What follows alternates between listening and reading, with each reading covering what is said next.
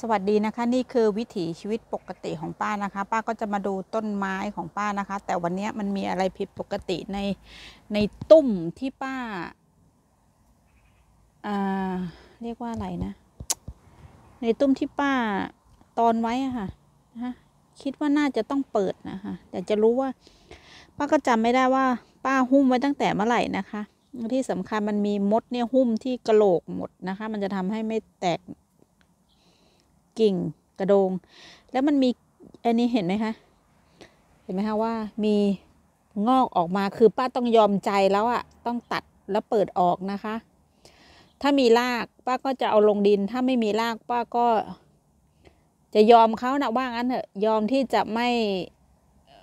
ให้เขาเกิดอะให้กิ่งกระโดงเขาเกิดนะคะ เดี๋ยวเรามาดูกันอีกนะคะ หลังจากที่ป้า ให้ดูกันใกล้ๆดิเนี่ยค่ะ เดี๋ยวดูกันตอนที่ป้าเปิดแล้วนะคะ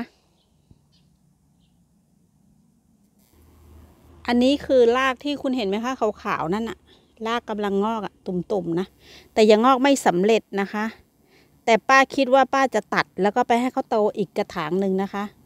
ป้าจำเป็นจะต้องตัดนะคะ แล้วเรามาดูกันว่าจะรอดไหมนะคะที่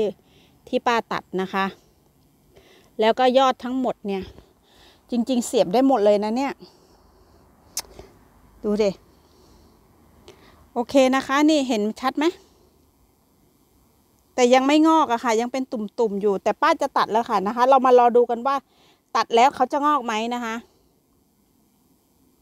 นะคะ เนี่ยเห็นไหมเตรียมงอกเต็มเลย โอเคนะคะ